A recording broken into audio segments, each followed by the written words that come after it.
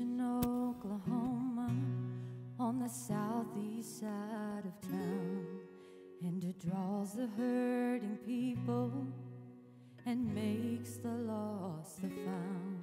No fancy signs, one service time, and the doors always unlocked. It's the first place that I saw the hand of God. And you couldn't tell me there wasn't healing in those walls. And you couldn't tell me angels didn't walk those halls on a Wednesday night or Sunday morning. We didn't have much, but Jesus loved it. If you want to know why I am the way I am, it's the church I grew up in.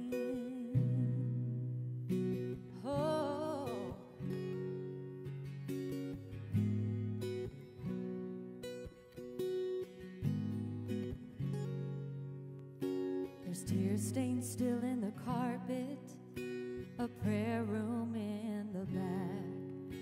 And none of us were perfect, but we all tried our best. The mother's prayer still in the air for the ones who've walked away. And the only thing that kept us was God's grace. And you couldn't tell me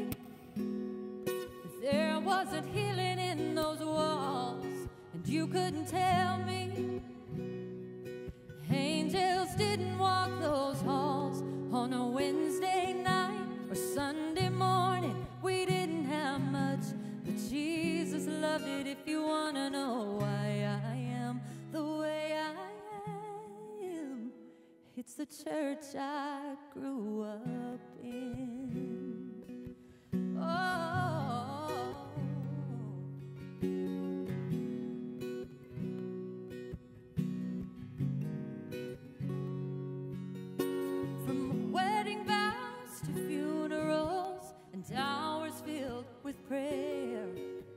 It's where I learned the gospel and my Jesus met me there.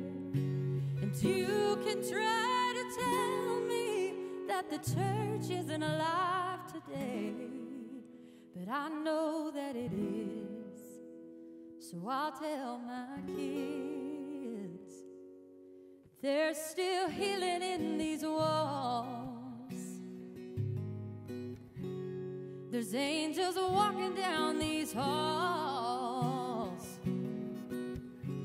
If it's Wednesday night or Sunday morning, we don't need much, cause Jesus loves it. If you wanna know where my history began, if you wanna know why I am the way I am, it's the church I grew up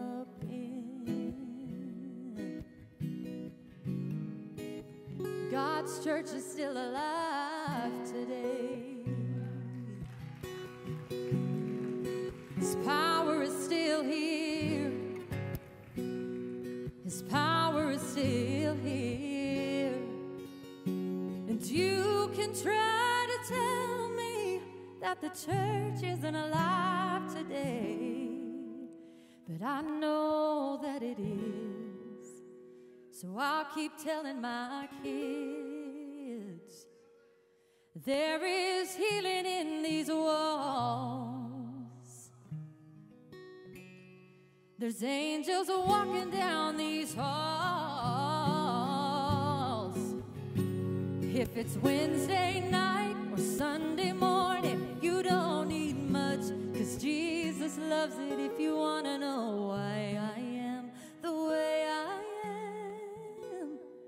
if you wanna know where our history began,